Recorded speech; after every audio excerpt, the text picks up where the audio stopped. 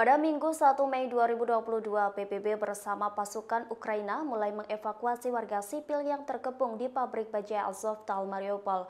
Mereka berhasil mengevakuasi kelompok awal yang berjumlah lebih dari 100 warga sipil di pelabuhan kota tersebut. Namun para tentara Ukraina yang terjebak di bunker tidak bisa dievakuasi.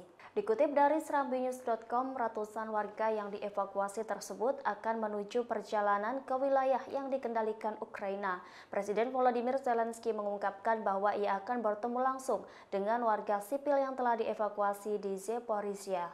Namun Rusia belum mengizinkan evakuasi para pejuang dan tentara Ukraina. Mereka tidak bisa dievakuasi dan masih tetap terjebak di bunker bawah tanah.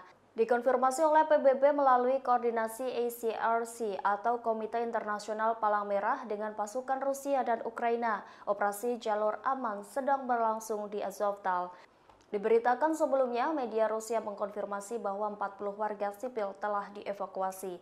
Mereka dibawa ke wilayah yang dikuasai Rusia di timur. Badan TSS mengatakan 18 laki-laki, 14 perempuan, dan 8 anak-anak dibawa ke Bezimene di mana wilayah tersebut merupakan sebuah desa di antara Mariupol dan perbatasan Rusia. Kepala kantor Zelensky Andriy Yermak mengatakan dalam sebuah postingan di Telegram bahwa evakuasi tersebut merupakan tahap pertama. Evakuasi warga sipil yang berada di pabrik baja Mariupol melibatkan lebih dari 100 wanita, anak-anak, dan orang tua.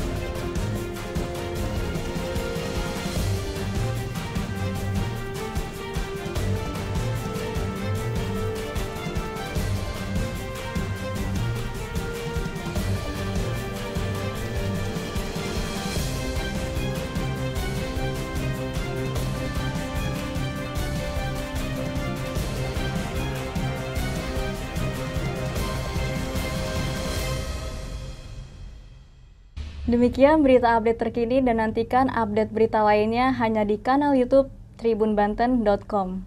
Jangan lupa subscribe, like, komen, dan share.